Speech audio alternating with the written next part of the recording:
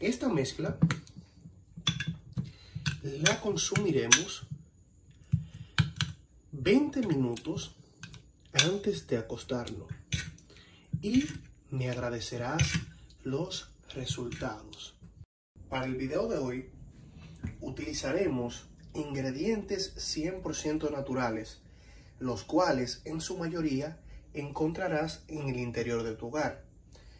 Lo primero que vamos a utilizar para este video es una fruta. ¿Qué fruta? Una fruta afrodisíaca, como lo es la fresa. Antes de utilizar cualquiera de estos ingredientes, es recomendable y de suma vitalidad higienizar nuestros productos, lavarlos antes de utilizarlos. Bueno, lo primero que vamos a hacer es rayar la fresa de esta manera.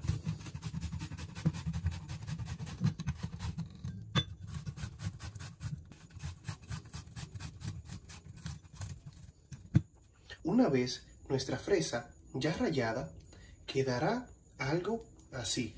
Cuando nuestra fresa esté ya rayada, vamos a exprimir el jugo de medio limón. Recuerden que el limón es un ácido, es un cítrico, el cual también en combinación con la fresa es un afrodisíaco, aporta energías afrodisíacas. Batimos bien y mezclamos el limón y la fresa, el cual vamos a conservar aproximadamente por una o dos horas. Una vez ya pasado este tiempo, vamos a proceder a rayar media zanahoria.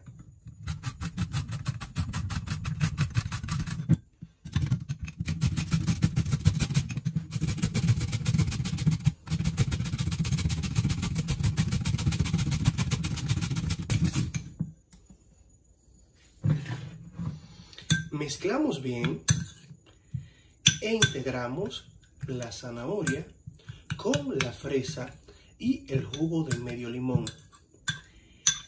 Anteriormente reservamos el limón y la fresa por una o dos horas.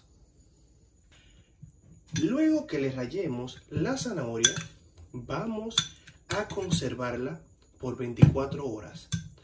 Pasadas las 24 horas, endulzaremos con un poquito de miel de abeja. Esta mezcla la consumiremos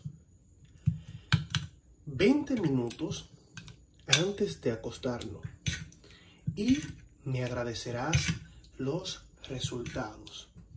Recuerden que deben dejar fermentar por 24 horas y luego endulzar con miel de abeja.